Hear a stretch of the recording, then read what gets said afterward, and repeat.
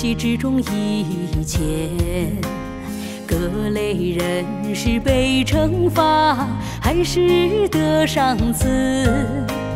是根据其是否是寻求真理，是否是人是神，是否是能顺服看得见的神？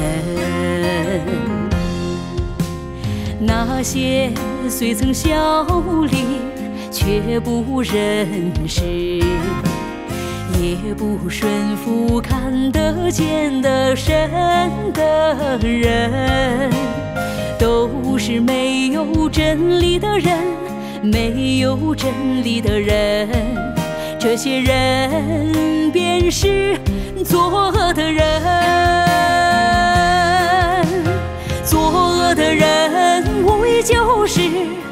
惩罚的对象，并且按着其恶行对其进行惩罚。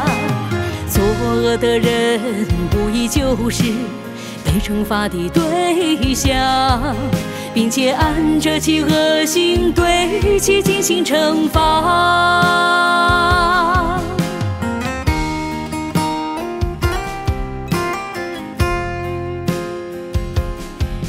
是让人相信的，也是值得人顺服的。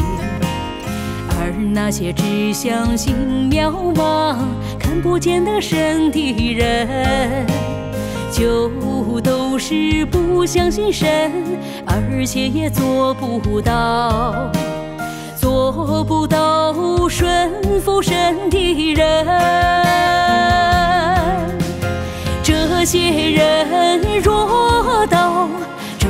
做的末了，还是不能做到相信看得见的神，而且仍是被你抵挡在肉身中看得见的神。那这些渺茫派，无疑就是被毁灭的对象了。